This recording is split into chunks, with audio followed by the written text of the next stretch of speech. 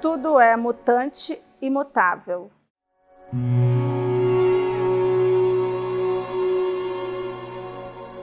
É, acho que viver dentro de casa durante a pandemia me fez pensar que espaços mutantes, mutáveis, flexíveis, adaptáveis, resilientes seria o caminho daqui para frente.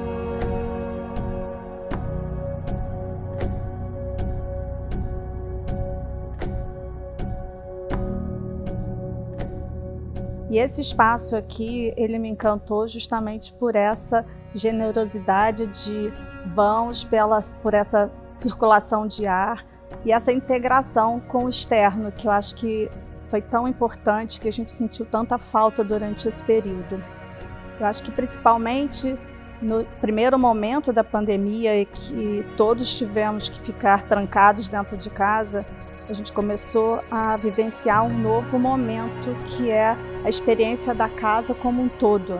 Eu acho que no início de tudo, é, muitas pessoas não tinham noção do espaço em que viviam. E eu acho que foi a oportunidade de conhecer o seu próprio mundo. E esse conhecimento levou a indagações e questionamentos. Por que não cuidei desse espaço? Por que ele ficou abandonado? É, a gente dedicava a maior, parte da nossa vida, se contar, é, ou dormindo ou fora desse lar. Então, eu acho que no momento que você passa a ter que ficar nele 24 horas por dia, você começa a questionar tudo. E eu acho que esse questionamento levou a, a esse conceito do espaço mutante.